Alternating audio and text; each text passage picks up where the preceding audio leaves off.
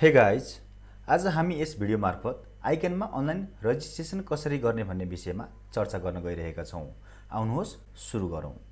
सर्वप्रथम हामीलाई कुन कुन डकुमेन्ट्सहरू चाहिन्छ भन्ने बारेमा बुझौँ। फर्स्ट एसइको मार्कसिट। सेकेन्ड एसइको क्यारेक्टर सर्टिफिकेट थर्ड प्लस टूको ट्रान्सक्रिप्ट यदि तपाईँले भर्खरै बाह्रको इक्जाम दिनुभएको छ तपाईँको बाह्रको रिजल्ट आएको छैन र तपाईँसँग ट्रान्सक्रिप्ट छैन भने तपाईँले प्लस टूको ट्रान्सक्रिप्टको ठाउँमा एघारको मार्कसिट अपलोड गर्न सक्नुहुन्छ। Four plus two character certificate.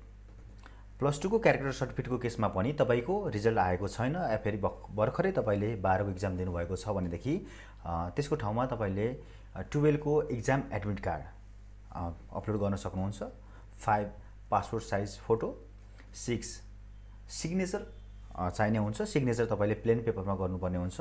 Seven citizenship. यी सबै डकुमेन्ट्सहरूलाई कलेक्ट गरिसकेपछि स्क्यान गरेर यसरी एउटै फोल्डरमा ल्याएर राख्नुभयो भने तपाईँलाई अपलोड गर्ने क्रममा धेरै सजिलो हुन्छ। र डकुमेन्ट्सहरूको कुरा गर्दा डकुमेन्ट्सको साइज वान फोर नाइन केबीभन्दा माथि हुनु हुँदैन एक सय उनपचास केबीभन्दा माथि हुनु हुँदैन वान फोर नाइन केबी वा त्योभन्दा तलको हुनुपर्ने हुन्छ।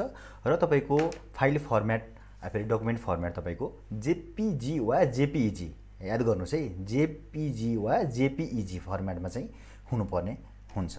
यसरी हाम्रो डकुमेन्ट कुन फर्मेटमा छ वा यसको साइज कति छ थाहा पाउनको लागि तपाईँले नर्मली यसमा राइट क्लिक गर्नुहोस् र यसको पर्पर्टिजमा जानुहोस्। तपाईँले यहाँ देख्न सक्नुहुन्छ यो जेपिजी फाइलमा छ र यसको साइज भनेको वान सेभेन वान केबी छ। भनेपछि यसको साइज हामीले रिड्युस गर्नुपर्ने हुन्छ। र यदि तपाईँको फाइलको साइज फेरि डकुमेन्टको साइज वान फोर नाइन केबीभन्दा माथि छ भनेदेखि अनलाइनमा यस्ता थुप्रै वेबसाइटहरू छन् जहाँबाट तपाईँले यसलाई रिड्युस गर्न सक्नुहुन्छ फेरि कम्प्रेस गरेर वान फोर नाइन केबी वा त्योभन्दा तल चाहिँ बनाउन सक्नुहुन्छ। त्योमध्ये केही लिङ्कहरू हामी तपाईँलाई डिस्क्रिप्सनमा पनि दिएका छौँ तपाईँले डिस्क्रिप्सन चेक गर्न सक्नुहुन्छ। यदि तपाईँको डकुमेन्टहरूको फर्मेट जेपिजीमा छैन या फेरि जेपिजीमा छैन भने तापनि तपाईँले अनलाइनबाट यसलाई यसको फाइल फर्मेट चेन्ज गर्न सक्नुहुन्छ। यसको पनि लिङ्क हामीले डिस्क्रिप्सनमा राखिदिएका छौँ। अब हामी रेजिस्ट्रेसन प्रोसेसको लागि आइकेनको वेबसाइटतर्फ जान्छौँ। तपाईँ यहाँ देख्न सक्नुहुन्छ आइकेनको वेबसाइट खुलिसकेको छ। तपाईँले नर्मल्ली गुगलमा गएर ICAN dot ORG dot NP type गरेर सर्च गर्नुभयो भने तपाईँको आइकेनको वेबसाइट खुल्छ। या फेरि हामीले लिङ्क डिस्क्रिप्सनमा दिएका हुन्छौँ। त्यसमा पनि तपाईँले त्यसबाट पनि आइकेनको वेबसाइट खोल्न सक्नुहुन्छ। यो विन्डो देखिसकेपछि तपाईँले यसलाई स्क्रोल डाउन गर्नुहोस् तल गएर हेर्दा अनलाइन न्यू स्टुडेन्ट रेजिस्ट्रेसन भन्ने आइकन देख्नुहुन्छ यसमा क्लिक गर्नुहोस्। यो क्लिक गरिसकेपछि तपाईँको न्यू ट्याब खुल्छ जसमा online registration for enrolment in charter accountancy courses भनेर देखाइएको छ। यसमा तपाईँले लेभल चुज गर्नुपर्ने हुन्छ। यसमा लेभल चुज गर्नुहोस् हामीले क्यापोन लेभल चुज गरेका छौँ र प्रोसिड गर्नुहोस्। यो भइसकेपछि एप्लिकेसन फर्म देखाउँछ एउटा जसमा तपाईँले आफ्नो इन्फर्मेसनहरू फिल गर्नुपर्ने हुन्छ। तपाईँको फुल नेम क्यापिटल लेटरमा तपाईँको डेट अफ बर्थ एडीमा तपाईँको जेन्डर फिल गर्नुहोस् एप चुज गर्नुहोस् तपाईँको नेसनालिटी चुज गर्नुहोस् father's name mother's name guardian's name तपाईँ यदि बुवा आमासँगै बस्नुहुन्छ भनेपछि बुवाको या फेरि आमाको चाहिँ नाम पनि राख्न सक्नुहुन्छ। त्यसपछि सिटिजनसिप। सिटिजनसिपमा यदि तपाईँसँग सिटिजनसिप छ भनेदेखि सिटिजनसिप नम्बर राख्नुहोस्। छैन भने तपाईँले यसरी चाहिँ सबमिट लेटरमा पनि क्लिक गर्न सक्नुहुन्छ। है अब यसपछिको रहेको चाहिँ एड्रेस पर्मानेन्ट एड्रेसमा आएको छ। तपाईँ कुन प्रदेशबाट हुनुहुन्छ? वान टू बागमती गण्डकी अब कहाँबाट हुनुहुन्छ तपाईँले चाहिँ त्यो चुज गर्न सक्नुहुन्छ। तपाईँ आफ्नो डिस्ट्रिक्ट या फेरि जिल्ला तपाईँ चुज गर्न सक्नुहुन्छ। कुन सिटीबाट हुनुहुन्छ? तपाईँ कति नम्बर वार्ड हो? त्यो सबै यसमा फिलअप गर्नुहोस्। यसपछि हामीले करस्पोन्डेन्स एड्रेस राख्नुपर्ने हुन्छ जसमा तपाईँ कुन प्रदेशमा हुनुहुन्छ कुन जिल्लामा हुनुहुन्छ एड्रेसमा तपाईँ कुन सिटीमा हुनुहुन्छ या फेरि तपाईँको नगरपालिका गाउँपालिका कहाँ हुनुहुन्छ त्यो राख्नु होला त्यसपछि तपाईँले फोन नम्बर अनि इमेल आइडी अनि मोबाइल नम्बर राख्नुपर्ने हुन्छ। फोन नम्बर र मोबाइल नम्बर तपाईँले चाहिँ एउटै राख्न सक्नुहुन्छ र इमेल आइडी र मोबाइल नम्बर राख्ने क्रममा तपाईँले एकदमै ध्यान दिनुपर्ने कुरा यो छ कि जुन इमेल आइडी तपाईँ राख्दै हुनुहुन्छ या फेरि जुन मोबाइल नम्बर तपाईँ राख्दै हुनुहुन्छ त्यो तपाईँलाई सजिलै एक्सेस हुन्छ त्यो तपाईँको आफ्नो पर्सनल हो। किन भन्दाखेरि फ्युचरमा आइक्यानले जब तपाईँलाई पठाउने नोटिसहरू इन्फर्मेसनहरू पनि तपाईँको यही इमेल आइडी र मोबाइल नम्बरमा आउने हो भने हाम्रो यही रेजिस्ट्रेसन प्रक्रियामा पनि तपाईँलाई इमेल आइडी र मोबाइल नम्बरमा अलग अलग ओटिपी कोडहरू पठाउँछ जसलाई हामीले जोडेर फेरि पछि सबमिट गर्नुपर्ने हुन्छ। त्यसैले मेक स्योर कि जुन इमेल आइडी र मोबाइल नम्बर तपाईँले राख्नु भएको छ त्यो तपाईँले सजिलै एक्सेस गर्न सक्नुहुन्छ या फेरि जुन तपाईँसँगै छ। यति गरिसकेपछि तपाईँले सेभ बटनमा क्लिक गर्नुहोस्। हामीले डिटेल्सहरू भरेर आइसकेका छौँ र डिटेल्सहरू भरिसकेपछि यहाँ हाम्रो मोबाइलमा अनि इमेलमा अलग अलग कोडहरू आएको छ। जुन हाम्रो मोबाइलमा थर्टी थ्री र इमेलमा फिफ्टी थ्री गरेर आएको छ जसको सम एट्टी सिक्स हुन जान्छ। हामीले एट्टी सिक्स यसमा टाइप गरेर यसलाई भेरिफाई गर्छौँ। यसरी हामीले ओटिपी कोड भेरिफाई गरिसकेपछि एकाडेमिक डिटेल्स भर्ने सेक्सन आउँछ जसमा हामीले एकाडेमिक डिटेल्स भरेर डकुमेन्ट्स अपलोड गर्छौँ। आउनुहोस् हेरौँ है त कसरी गर्ने। सुरुमा तपाईँको एक्जामिनेसन दिएको छ। एक्जामिनेसनमा तपाईँले एससी अरू इक्वेलेन्टमा गएर क्लिक गर्नुहोस्। एसी यदि तपाईँको एसएलसी छ भने पनि तपाईँले चाहिँ एससी अरू इक्वेलेन्टमै क्लिक गरेको हुन्छ। इयर्समा तपाईँको कुन इयर हो? जस्तै हाम्रो जुन मार्कसिट छ जसमा टु थाउजन्ड नाइन्टिनमा तपाईँको चाहिँ एससी दिएको हो। भनेपछि टु थाउजन्ड नाइन्टिन राखेको छु मैले। तपाईँको एटिन हुनसक्छ सेभेन्टिन हुनसक्छ। अब आफ्नो कुन छ? आफै तपाईँको ट्वेन्टी हुनसक्छ। कुन छ तपाईँले त्यो राख्नुपर्ने हुन्छ। त्यसपछि बोर्ड अरू युनिभर्सिटीमा तपाईँको चाहिँ एसई नै राखिन्छ। यदि तपाईँको एसएलसी छ भनेदेखि तपाईँले चाहिँ जिओयान गभर्मेन्ट अफ नेपाल राख्न सक्नुहुन्छ। मार्क्स स्कोरमा चाहिँ तपाईँले यदि पर्सेन्टेजवाला हुनुहुन्छ तपाईँको एसएलसीवाला हुनुहुन्छ भनेपछि तपाईँले चाहिँ आफ्नो टोटल मार्क्स राख्नुपर्ने हुन्छ। त्यस्तो छैन भनेपछि तपाईँले त्यो राख्नु आवश्यक छैन। टोटल तपाईँले चाहिँ सिजिपिए राख्नुभयो हुन्छ। जस्तो कि मेरो यहाँ थ्री पोइन्ट एट फाइभ रहेको छ। त्यसपछि डिभिजनको कुरा गर्दाखेरि तपाईँको चाहिँ यसमा पनि तपाईँको यदि पर्सेन्टेज ल हुनुहुन्छ भनेदेखि तपाईँले distinction first division second division राख्न सक्नुहुन्छ। यदि त्यस्तो छैन भनेदेखि चाहिँ तपाईँको जिपिएवाला भनेपछि तपाईँले जिपिए राख्न सक्नुहुन्छ। त्यसपछि हामीले डकुमेन्ट अपलोड गर्नुपर्ने हुन्छ जसमा क्यारेक्टर सर्टिफिकेट भनेको छ। हामीले एससीको क्यारेक्टर सर्टिफिकेट राख्छौँ यसमा। हामीले चुज फाइल गर्न सक्छौँ यसमा। चुज फाइल गरिसकेपछि अघि मैले तपाईँलाई बताएको थिएँ यसरी एउटै फोल्डरमा राख्यो भने हामीलाई सजिलो हुन्छ। एससीको क्यारेक्टर मैले यसलाई चाहिँ ओपन गरेँ।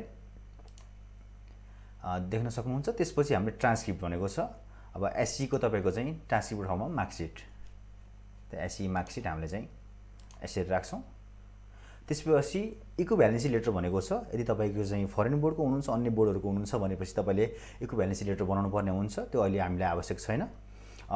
त्यसपछि धेरै साथीहरू झुकिनुहुन्छ। धेरै साथीहरूले सिधै पोस्ट टू अपलोड गरिदिनुहुन्छ। त्यसपछि सर मैले चाहिँ प्लस टूको डकुमेन्ट्स राख्ने ठाउँ पाएन सर मैले कसरी गर्ने? मेरो भएन सर भन्नुहुन्छ। यति गरिसकेपछि तपाईँले पोस्ट टू अपलोड नगर्ने एड गर्ने। है एड गरिसकेपछि फेरि तपाईँलाई अब प्लस टूको डकुमेन्ट्सहरू अपलोड गर्नुपर्ने हुन्छ। हामीले अब फेरि यसमा टेन प्लस टू अरू इक्वेलमा गएर क्लिक गर्छौँ। त्यसपछि इयर। इयर हाम्रो चाहिँ टु थाउजन्ड ट्वेन्टी वान रहेको छ। त्यो राख्छौँ बोर्डर युनिभर्सिटीमा हाम्रो चाहिँ NEB Nepal examination board. Same तपाईँको चाहिँ जस्तो कि तपाईँको उसमा थियो एससीमा थियो। त्यसरी नै हामी चाहिँ यहाँ राख्छौँ। यसमा तपाईँको चाहिँ अब टोटल पर्सेन्टेज मार्क मार्क्स स्कोरमा तपाईँको चाहिँ अब यहाँ भर्नुपर्ने हुन्छ। मार्क्समा तपाईँको चाहिँ टोटल मार्क्स चाहिँदैन। हामी चाहिँ सिजिपिए फेरि जिपिए भएको हुनाले चाहिँ टोटल पर्सेन्टेजमा तपाईँले चाहिँ अहिले अब इलेभेनको राख्नुपर्ने हुन्छ। किनकि हाम्रो टुवेल्भको आएको छैन। इलेभेनको थ्री पोइन्ट फाइभ फोर रहेको छ। त्यसपछि डिभिजनमा गएर अघि जसरी नै जिपिएमा क्लिक गर्ने। त्यसपछि क्यारेक्टर सर्टिफिकेट जुन छ क्यारेक्टर सर्टिफिकेटको ठाउँमा चाहिँ तपाईँले चाहिँ यहाँ सब्मिट लेटर अप्सनमा क्लिक गर्ने हो। किनकि हाम्रो चाहिँ क्यारेक्टर सर्टिफिकेट आइसकेको छैन र अप फाइल अपलोड गर्दा चाहिँ हामीले पहिला पनि भनेका थियौँ क्यारेक्टरको ठाउँमा हामीले चाहिँ एडमिट कार्डलाई चाहिँ राख्न सक्छौँ। हामी एडमिट कार्डलाई चाहिँ हामीले यसरी अपलोड गर्छौँ त्यसपछि गएर ट्रान्सक्रिप्टमा पनि सब्मिट लेटर गर्ने तर चाहिँ फाइल चाहिँ हामीले इलेभेनको मार्कसिट राख्ने। यति गरिसकेपछि इक्व ब्यालेन्स हामीलाई यसलाई पनि चाहिँदैन। यति गरिसकेपछि तपाईँले चाहिँ यसमा एड बटनमा गएर क्लिक गर्नुपर्ने हुन्छ। यसरी एड गरिसकेपछि हामीले अघि एड गरेको एससीको र प्लस टूको सम्पूर्ण विवरणहरू यहाँ देखाइएको छ डकुमेन्ट्सहरू पनि देखाइएको छ। यदि यो मिस्टेक छ भने तपाईँ एडिट गर्न पर्नेछ भने तपाईँ एडिट पनि गर्न सक्नुहुन्छ यहाँबाट यसरी। र यसलाई तपाईँले होइन यसलाई डिलिट गरेर फेरि नयाँ तपाईँको चाहिँ विवरण हाल्छु या फेरि मेरो यो मिस्टेक छ फेरि म सुरुबाटै हाल्छु भने पनि तपाईँले यसलाई यहाँबाट डिलिट गरेर फेरि सुरुबाटै हालेर तपाईँले चाहिँ एड गर्न पनि सक्नुहुन्छ। तर हाम्रो अब त्यहाँ एडिट गर्नुपर्ने या फेरि डिलिट गर्नुपर्ने अवस्था छैन। सो हामी अहिले चाहिँ पोर्सिट टु अपलोड गर्छौँ। यसै गरी एकाडेमिक डिटेल्स भरेर पोर्सिट टु अपलोडमा क्लिक गरिसकेपछि हामीलाई हाम्रो पर्सनल डिटेल्सहरू राख्ने या फेरि पर्सनल आइडी भनौँ तपाईँको चाहिँ सिटिजनसिप त्यसपछि गएर हाम्रो सिग्नेचर र पासपोर्ट साइजको फोटो राख्ने सेक्सन आउँछ जहाँ हामीले चाहिँ अब यी कुराहरू अपलोड गर्नुपर्ने हुन्छ। अब यसको लागि पनि हामीले चाहिँ सुरुमा पासपोर्ट साइजको फोटो अपलोड गरौँ। यो पासपोर्ट साइजको फोटो अपलोड गर्ने गर्ने क्रममा पनि तपाईँहरू कतिजनाले चाहिँ के गर्नुहुन्छ भन्दाखेरि पासपोर्ट साइजको फोटोलाई टेबलमा राखेर फोटो खिचिदिनुहुन्छ अनि ठुलो फोटो नै तपाईँहरूले त्यसरी राख्नुहुन्छ। त्यो त्यसरी हुँदैन। यसलाई एक्चुअल पासपोर्ट साइजमै त्यही फर्मेटमा तपाईँले राख्नुपर्ने हुन्छ। तपाईँलाई यदि कुनै समस्या भयो भने गुगलको हेल्प लिन पनि सक्नुहुन्छ। सजिलै त्यहाँ तपाईँलाई साइजहरू दिएको हुन्छ। त्यसपछि हामीले सिग्नेचर अघि पनि मैले तपाईँलाई भनेको थिएँ प्लेन पेपरमा गर्नुपर्ने हुन्छ। तपाईँ लाइन कपीमा सिग्नेचर गर्नुभयो भने यो नमान्न पनि सक्छ। सो प्लेन पेपरमा सिग्नेचर गरेर त्यसलाई स्क्यान गरेर यसरी हामीले राख्ने। थर्डमा हाम्रो चाहिँ सिटिजनसिप राख्छौँ। सिटिजनसिप पनि हामीले चाहिँ स्क्यान गरेर राखिसकेका छौँ। यदि तपाईँको छैन भनेदेखि तपाईँले यहाँ लेटर लेखेर सब्मिट गर्नुपर्ने हुन्छ। है तपाईँले चाहिँ यदि अहिले छैन भनेपछि हामीले सुरुमा हाम्रो डिटेल्सहरू भर्दा तपाईँले त्यहाँ सब्मिट लेटर अप्सनमा क्लिक गर्नुपर्ने हुन्थ्यो जहाँ तपाईँलाई पहिला पनि बताइएको छ। त्यसपछि तपाईँले यहाँ चाहिँ एउटा लेटर लेखेर अहिले मसँग चाहिँ सिटिजनसिप छैन म केही दिनमा फेरि केही दिनपछि म तपाईँलाई बुझाउँछु भनेर तपाईँहरूले चाहिँ लेटर लेखेर आइकनलाई चाहिँ बुझाउनु पर्ने हुन्छ। त्यो लेटर यहाँ सब्मिट गर्नुपर्ने हुन्छ र तपाईँले चाहिँ अब छिटोभन्दा छिटो सिटिजनसिप पनि बनाउनु पऱ्यो किन भन्दाखेरि सिटिजनसिप बिना तपाईँले फेरि इक्जाम फर्म भर्न पाउनु हुँदैन। त्योभन्दा पहिला नै तपाईँले सिटिजनसिप आइकनलाई बुझाइसकेको हुनुपर्छ। त्यसपछि तपाईँको यहाँ एउटा टिक लाउने अप्सन छ। यो धेरै लामो कुराहरू छ मैले यसलाई पढिनँ। तपाईँले एकचोटि हेर्नु होला। त्यसपछि यति भइसकेपछि यसलाई सब्मिट गरिदिनुहोस्। र तपाईँको चाहिँ यहाँ एउटा नोटिफिकेसन आउँछ माथि। यसमा ओके गरिदिनुहोस्। यो भइसकेपछि हाम्रो डकुमेन्ट्सहरू सबै सबमिट भयो। यसरी सम्पूर्ण डकुमेन्टहरू हामीले अपलोड गरिसकेपछि सब्मिट गरिसकेपछि हामीलाई यो किसिमको एउटा ड्यासबोर्ड देखा पर्छ जसमा तपाईँको नेम रेजिस्ट्रेसन टाइप लेभलहरू यसरी दिएको छ। यसमा रेजिस्ट्रेसन स्ट्याटस तपाईँको पेन्डिङ भनेको छ र पेमेन्ट स्ट्याटस अनपेड छ। हामीले अहिले नै यसलाई पेमेन्ट गरिहाल्ने होइन। तपाईँको केही समय लिन्छ आइक्यानले यदि तपाईँको चाहिँ बिदाको दिनहरू छ भने दुई दिन पनि लाग्न सक्छ या फेरि एक दिन त्यसमा तपाईँलाई चाहिँ स्ट्याटस के छ भनेर या फेरि तपाईँको एप्रुभ भयो रिजेक्ट भयो भनेर तपाईँको मोबाइलमा मेसेज आउँछ तपाईँलाई मेल आउँछ।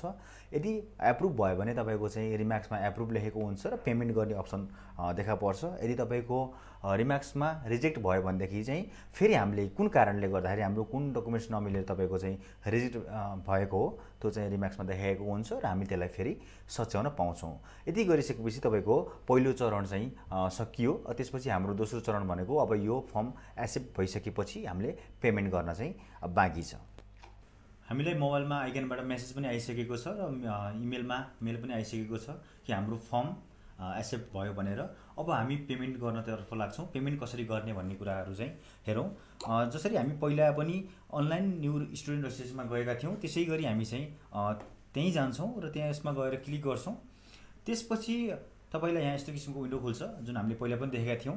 यसमा हामी पहिला यसरी लेभल चुज गरेका थियौँ भने अब चाहिँ हाम्रो डकुमेन्ट बुझाइसकेपछि हामीले एउटा सब्मिसन नम्बर पाइसकेका छौँ। तपाईँको मोबाइलमा सब्मिसन नम्बर आइसकेको छ भनेपछि अब सब्मिसन नम्बर राखेर हामी अगाडि बढ्ने। सब्मिसन नम्बर जस्तै कि मेरो आएको जुन मैले राखेको छु यसमा तपाईँले अब आफ्नो डेट अफ बर्थ या फेरि मोबाइल नम्बर जुन तपाईँले फर्म भर्दा राख्नु भएको छ त्यो राखेर तपाईँले चाहिँ यसलाई पोसिड गर्न सक्नुहुन्छ। र यसरी पोस्टिड गरिसकेपछि तपाईँ देख्न सक्नुहुन्छ यस्तो किसिमको ड्यासबोर्ड खुल्छ जसमा हाम्रो रेजिस्ट्रेसन फर्म स्ट्याटस एप्रुभ भनेको छ पेमेन्ट स्ट्याटस अनपेड भनेको छ रिम्याक्समा केही पनि छैन। यदि तपाईँको फर्म रिजेक्ट भएको भएदेखि तपाईँको यहाँ चाहिँ एप्रुभको ठाउँमा रिजेक्ट हुन्थ्यो र रिम्याक्समा कुन कारणले गर्दा रिजेक्ट भएको हो त्यो कारण खुलाएर लेखिएको हुन्थ्यो र त्यसमा गएर तपाईँले फेरि एडिट गर्न सक्नुहुन्थ्यो। र यसमा तपाईँले चाहिँ पेमेन्ट गर्नको लागि लास्ट डेट पनि दिएको छ हेर्नुहोस् कुन डेट र कति समय कति बजीसम्म पनि तपाईँले चाहिँ पेमेन्ट गर्न पाउनुहुन्छ भनेर लास्ट डेट दिएको छ। अब त्योभन्दा अगाडि नै पेमेन्ट गर्नुभएको राम्रो।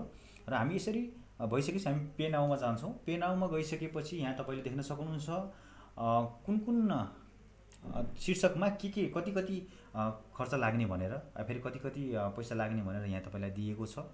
यो हेर्न सक्नुहुन्छ। हाम्रो टोटल लाग्ने भनेको तिस हजार एक सय छ।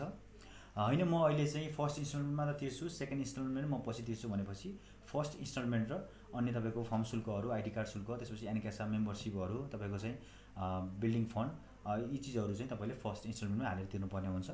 त्यसको लागि तपाईँले यहाँ एउटा अप्सन दिएको छ I will pay the second instalment letter भन्ने। यसमा गएर तपाईँले क्लिक गर्नुभयो भने तपाईँको टोटल सत्र हजार छ सय देखाउँछ।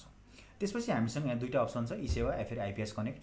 तपाईँले दुईवटा मध्ये कुनै एउटा चुज गर्न सक्नुहुन्छ।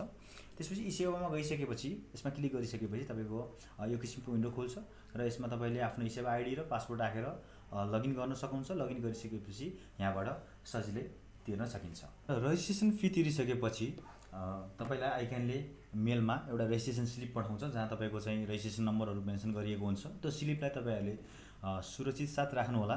तपाईँलाई फ्युचरमा यो धेरै नै आवश्यक हुन्छ। तपाईँलाई चाहिँ आइक्यानबाट रिसोर्सेसहरू लिन होस् या फेरि तपाईँ इक्जाम फर्म भर्न होस् या फेरि अन्य धेरै कुराहरूमा रिजल्ट हेर्नदेखि लिएर अन्य धेरै कुराहरूमा तपाईँलाई त्यो चाहिने हुन्छ।